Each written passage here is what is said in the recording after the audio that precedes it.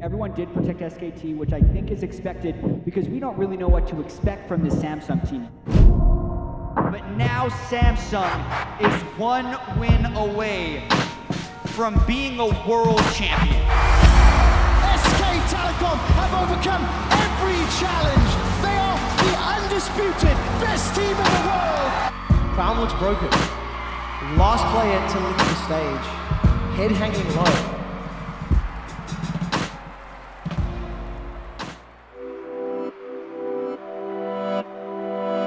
롤드컵 이후에 정신적으로 많이 힘들었습니다. 멍하니 허전하고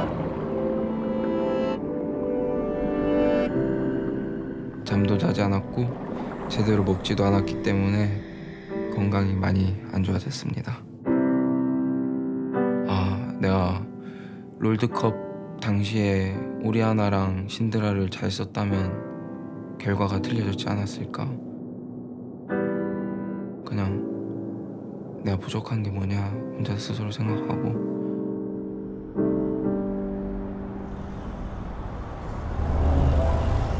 최상위 폼으로 올라가려면은 일단 열심히 해야겠죠? 근데 그 열심히 한다는 것도 다른 선수들도 다 똑같이 열심히 하는 건데 거기서 더 올라가려면은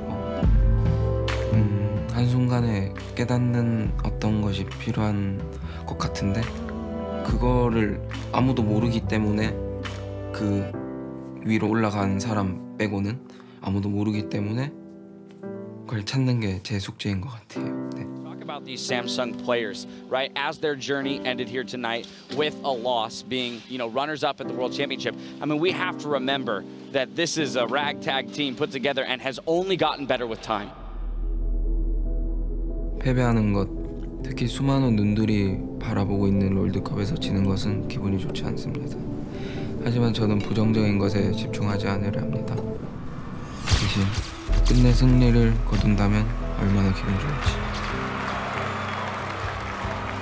거기까지의 여정은 어떨지에 대해 집중하려 합니다. 대부분의 사람들이 자고 있을 동안에도 저는 밤 늦게까지 연습을 하고 상대를 분석하고 게임에 대한 모든 것을 배우려 합니다.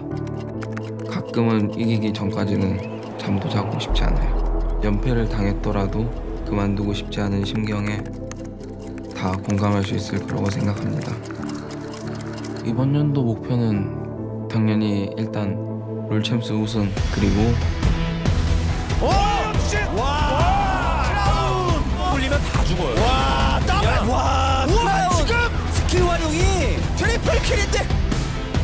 근데 만약에 제가 우승을 하게 되면